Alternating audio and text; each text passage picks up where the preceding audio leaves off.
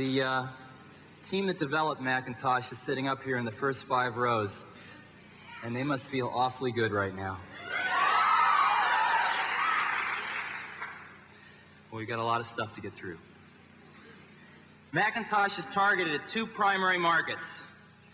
The first is the 25 million knowledge workers who sit behind desks, and particularly those in medium and small sized businesses. And the second market is the college worker. We think that's the knowledge worker of tomorrow, and there are over 11 million college students in America alone. Now, the telephone was the first and only really desktop appliance, and we think Macintosh can become the second desktop appliance for these tens of millions of people. Because of the 235 people in America, only a fraction know how to use a computer. Macintosh is for the rest of us. And we need to communicate this message to those knowledge workers and college workers. And to do that, we are launching the largest advertising campaign in Apple's history, which will premiere on the Winter Olympics starting February 6th. And I'd like to show you five commercials now. It's more sophisticated, yet less complicated. It's more powerful, yet less cumbersome. It can store vast amounts of yesterday, or tell you what's in store for tomorrow. It can draw a picture, or it can draw conclusions. It's a personal computer from Apple, and it's as easy to use as this. Macintosh, the computer for the rest of us. Introducing Macintosh. It does all the things you'd expect a personal computer to do. It does a lot of things you wouldn't expect a personal computer to do. And it does some things no other computer has ever done before. Of course, to do all this, you will have to learn to do this. Macintosh, the computer for the rest of us.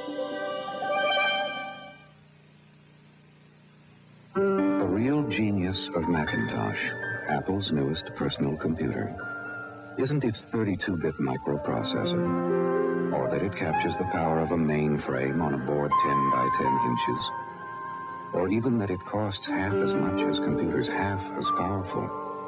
The real genius of Macintosh is that you don't have to be a genius to use it.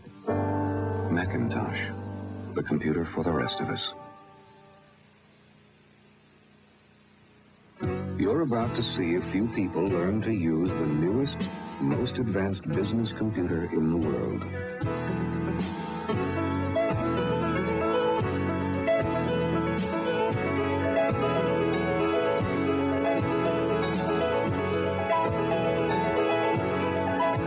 If you know how to point, you already know how to use it. Macintosh, the computer for the rest of us.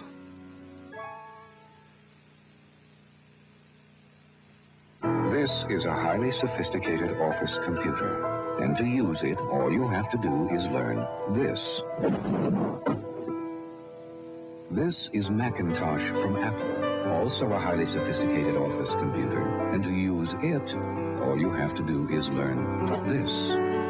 Now, you decide which one is more sophisticated. Macintosh, the computer for the rest of us. This is KSTS TV 48 in San Jose, your computer connection.